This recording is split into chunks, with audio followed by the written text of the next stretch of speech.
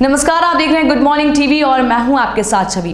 कानूनी सलाहकार और इंसॉल्वेंसी प्रोफेशनल एमपी जैन ने आज एक प्रेस कॉन्फ्रेंस में मीडिया कर्मियों से बात की और insolvency and bankruptcy code 2016 के नियमों के बारे में विस्तृत जानकारी दी।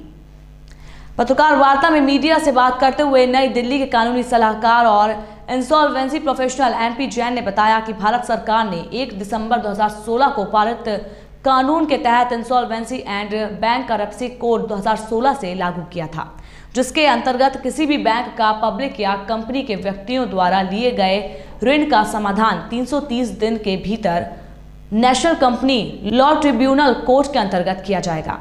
जिसका उदाहरण देते हुए उन्होंने बताया कि H Dairy and Allied Limited के निवेशकों ने जो आवेदन किया था, उसकी मंजूरी मिल चुकी है और उसके समाधान की प्रक्रिया भी शुरू है।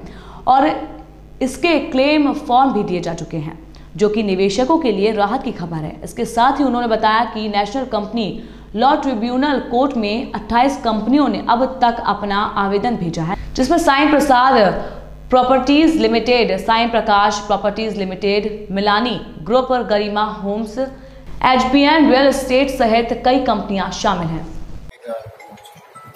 उसका कारण है, ये देश में इस देश में एक हज़ार से ज़्यादा कंपनियाँ ऐसी हैं एच की तरफ़। एक हज़ार के लगभग कंपनियाँ होंगी। इनको तो इतनी जानकारी अभी इतनी नहीं है, जितनी मुझे जानकारी मैं बता रहा ऐसा क्यों हुआ कि उन्होंने निवेशकों से पैसा लिया और प्रॉपर्टीज़ में लगा दिया? प्रॉपर्टीज़ में लगा के उन दिनों इतना बूम था रियल इस्टेट में कि उनको ये था कि ये पैसे हम बेच के प्रॉपर्टी बेच के, वो तो इतने ज़्यादा बटेंगे, हमारे पास आ जाएँगे, कि उनके भी दे देंगे। हम अपने आप ही मालामाल हो जाएँगे। हो गया इसके ऊपर। ना तो उनके पैसे वापस गए ना ही वो प्रॉपर्टी। ये सिचुएशन आ गई और वो दिवाले के इंतज़ार पर। ये सिचुएशन इनकी है। आज कोई कंपनी में हम मतलब कंपनियाँ जानबूझकर चीटर नहीं बनी हैं। उनकी परिस्थितियों ने उनको बना दिया। जी।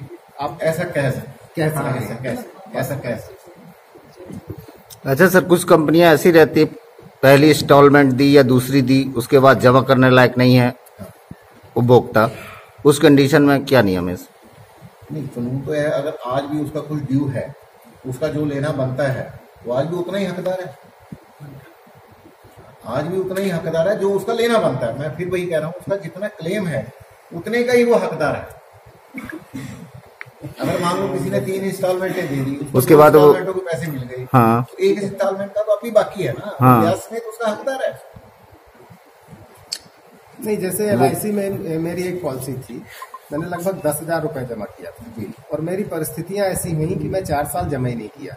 जब मैं वहाँ गया तो मुझे बारह सौ रुपए बताया गया आपका बन रहा नहीं एल आई सी बोलते हैं आपका पैसा लैप्स हो गया। ऐसा है नहीं इस तरह इस तरह के रिलायंस की हो या एलआईसी की हो। अधिवक्ता है इसलिए पूछ रहा हूँ। नहीं ऐसा है। एल आई सी की अपने हाँ। इसके कंपनीज़ ने जिन्होंने आपसे निवेशन लिया है उनके अपने कैदे थे वो कह रहे थे पैसे देते रहो इतने पैसे आपको मिलेंगे।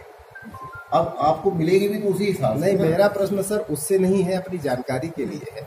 मैं एल मैं अलग से आपसे पूछ रहा हूँ। नियम ऐसा है कि एल आई सी के बारे में शायद मुझे जानकारी नहीं है मैं उसका जवाब आपको शायद नहीं रिलायंस वगैरह जो है सर? इंश्योरेंस वगैरह? मैं इंश्योरेंस की किसी भी सवाल का जवाब देने में असमर्थ insurance I R D A से रजिस्टर्ड है वो सब कुछ वो करता है। वो एनसीएलटी में नहीं है एन सी एल टी के उसमें है ही नहीं। ये तो ये जो कंपनियाँ डिफ़ॉल्ट में चली गई।